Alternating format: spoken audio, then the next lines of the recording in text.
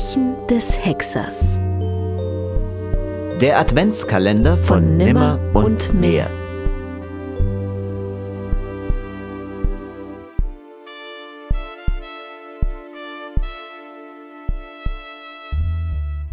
Keine Frau ist in diesem aufgeklärten Zeitalter so unschuldig, dass sie nicht weiß, mit welchen Lastern Männer und Frauen täglich in Berührung kommen. Mary Lanley hatte bei Maurice Messer jedes Stadium durchgemacht. Erst hatte sie zu ihm das absolute Vertrauen, das ein Vermächtnis ihrer Kindheit war, und dann erkannte sie den richtigen Charakter des Mannes. Sie war weder erschrocken noch fühlte sie sich unglücklich, als sie die wirkliche Bedeutung von Gwenda Miltons Schicksal begriff. Es war eigentümlich, dass ihr niemals in den Sinn kam, ihr drohe irgendeine Gefahr von Maurice. Sie waren immer gute Freunde gewesen. Ihr früherer Verkehr war so eigenartig vertraut gewesen, dass sie niemals argwöhnte, dass der Puls von Maurice Messer schneller zu schlagen anfing, wenn er sie sah.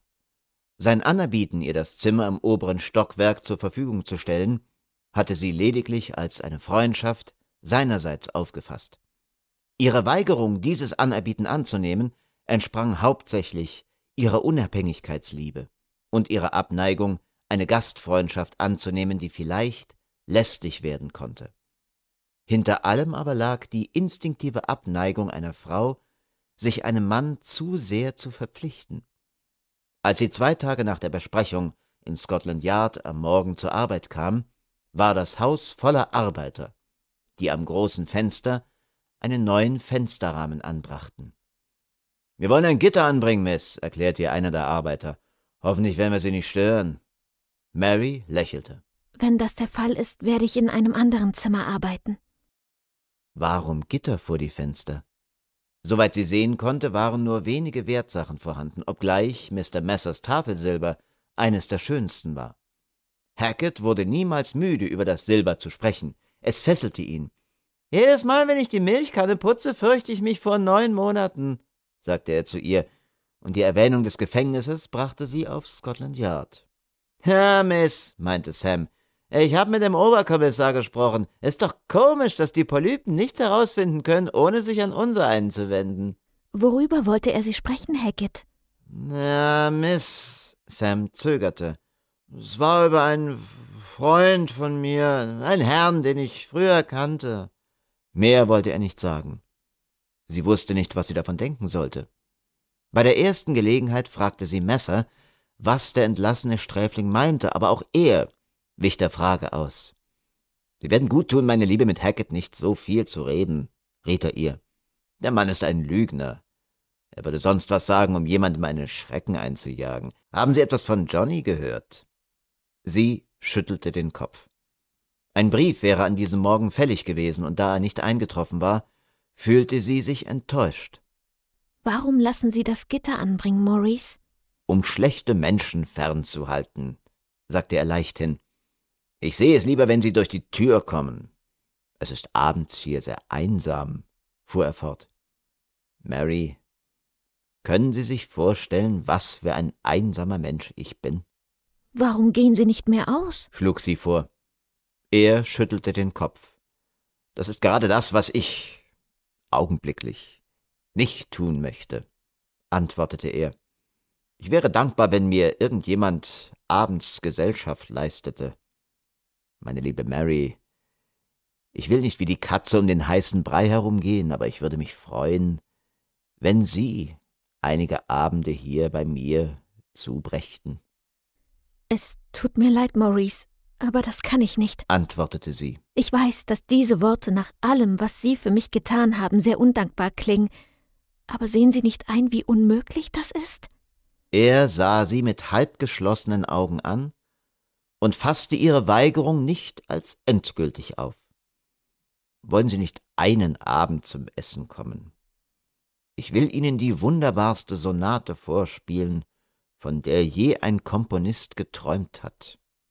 Es ist langweilig, mir selbst vorzuspielen, fuhr er fort, ohne ihr Gelegenheit zur Antwort zu geben. Denken Sie nicht, dass Sie es über Ihr Herz bringen könnten, einen Abend herzukommen. Es war wirklich kein Grund vorhanden, warum sie es nicht tun sollte, und doch zögerte sie. Ich will es mir überlegen, meinte sie. An diesem Nachmittag wurde Mr. Messer ein ganz ungewöhnlicher Fall übertragen. Ein betrunkener Motorradfahrer war auf der Fahrt festgenommen worden. Sie wollte gerade nach Hause gehen, als Mr. Messer in großer Eile zurückkam. Gehen Sie doch nicht, Mary. Ich möchte noch an Dr. Lomond einen Brief über diesen bedauernswerten Gefangenen schreiben. Lomond hat in seinem Bericht gesagt, dass der Mann betrunken war, aber ich will seinen eigenen Arzt hinzuziehen. Und der alte Schotte soll bei der Untersuchung zugegen sein. Er diktierte ihr den Brief, den sie niederschrieb und ihm zur Unterschrift brachte. Wie kann ich das Schreiben Dr. Loman zustellen? fragte er und blickte sie an.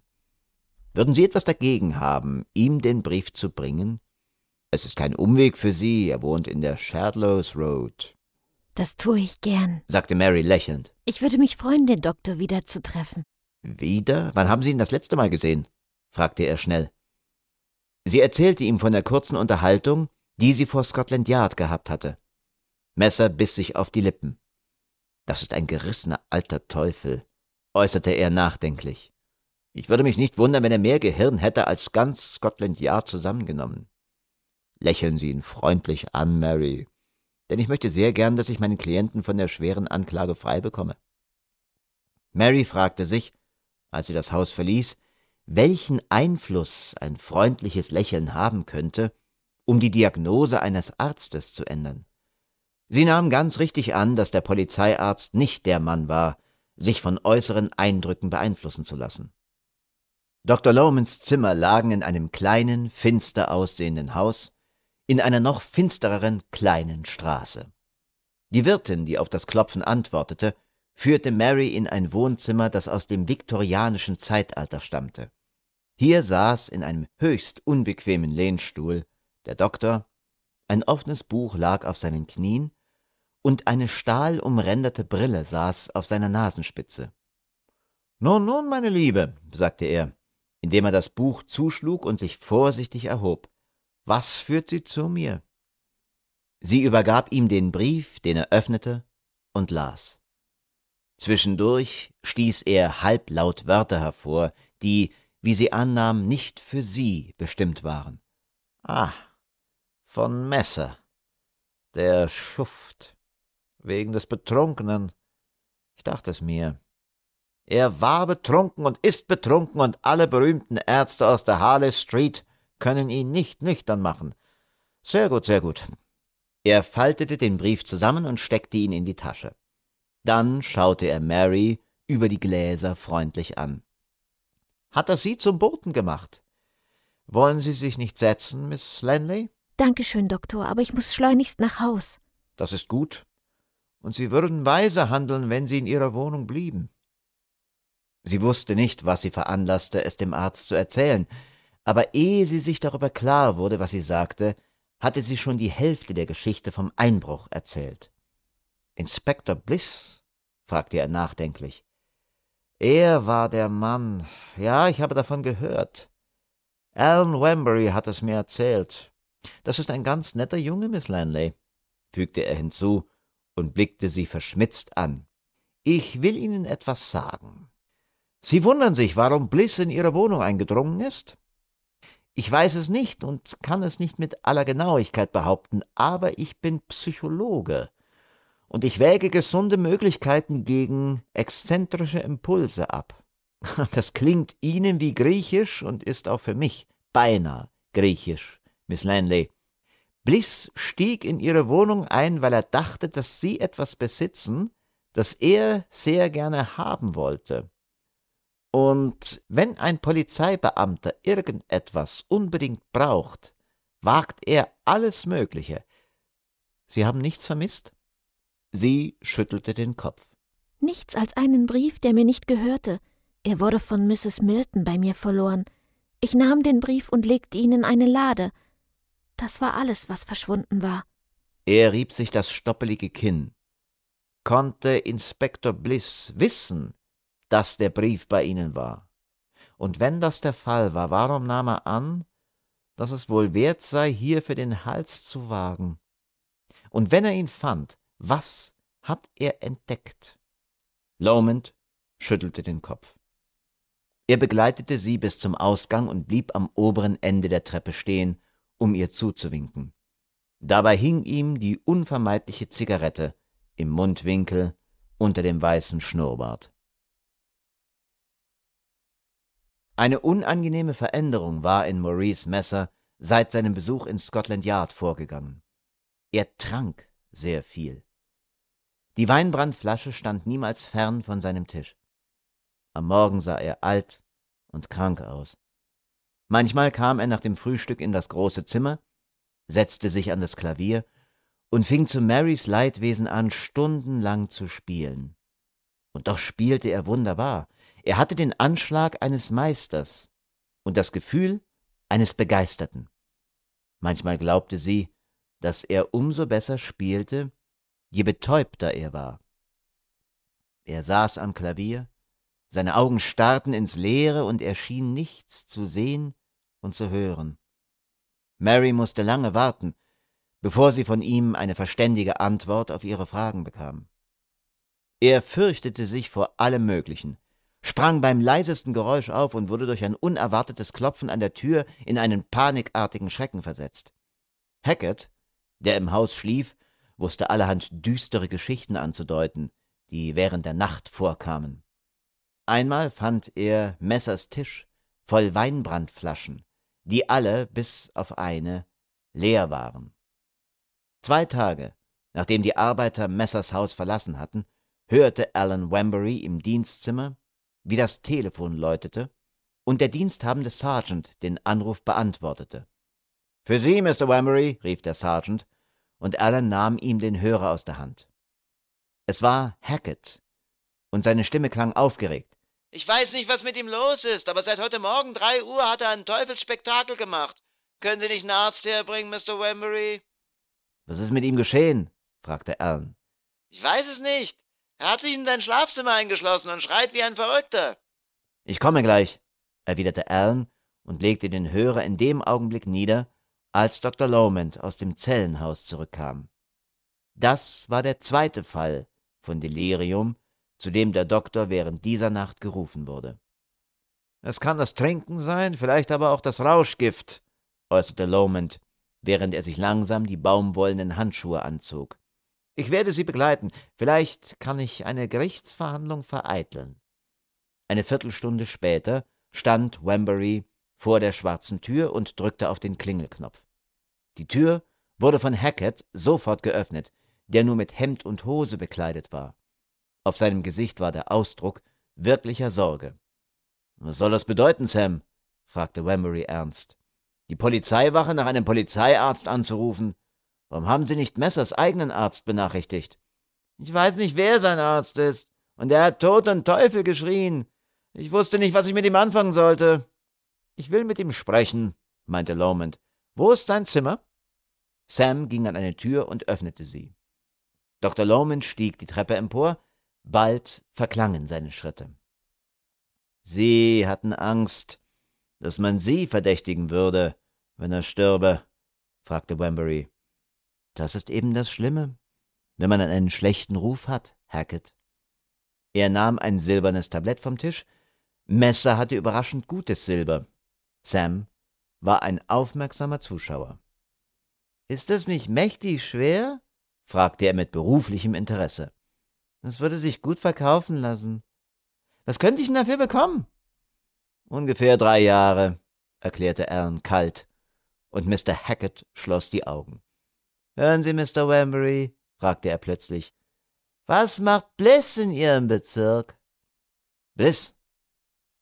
Sind Sie sich dessen sicher, Sam? Ich kenne sein Gesicht zu genau, um mich zu irren. Seitdem ich hier bin, treibt er sich hier herum. Warum? Ich weiß es nicht, beteuerte der entlassene Sträfling. Gestern habe ich ihn oben versteckt gefunden. Mr. Bliss? fragte Wambury erstaunt und ungläubig. Ich fragte ihn, was machen Sie hier? fuhr Sam mit Nachdruck fort. Wambury schüttelte den Kopf. Sie lügen. Gut, entgegnete Sam entrüstet. Ihr hängt ja alle zusammen wie die Kletten. Lomans Schritte ertönten auf der Treppe, und bald darauf trat er ins Zimmer. Ist er wieder ruhig, Doktor? fragte Wambury. Messer! Himmel, ja, ein tüchtiger Kerl. Messer, das ist eine alte englische Familie.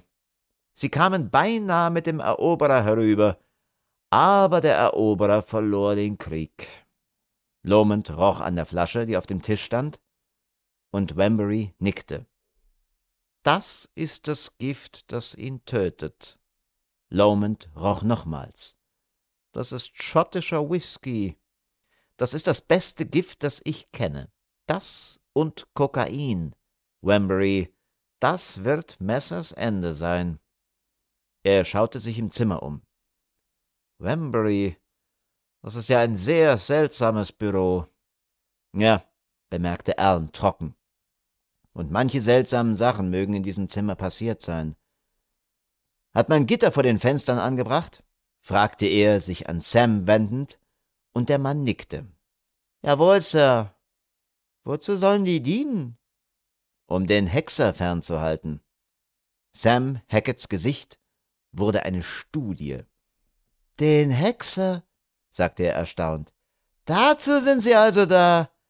Ich gebe meine Stellung auf. Ich wunderte mich schon, warum er die Gitter anbringen ließ und warum er verlangte, dass ich hier im Haus schlafe. Oh, Sie fürchten also den Hexer? fragte Lowman voller Interesse, aber auch mit kaum merkbarem Spott.